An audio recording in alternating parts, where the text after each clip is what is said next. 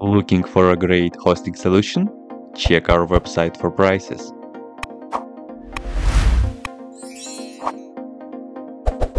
First what you need to do is to update the server packages. You can do this by the following command.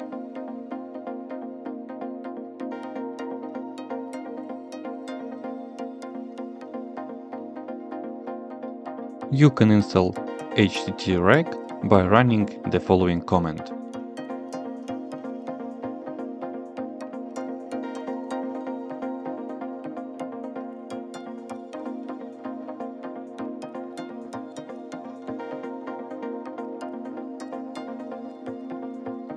When finished you will be able to check the installed version. The use of the tool is simple, just follow the syntax. For example, use the following command to download the site.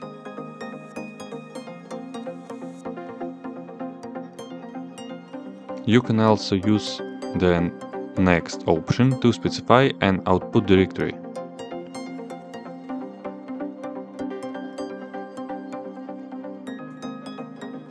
If you have any question, leave them in comments.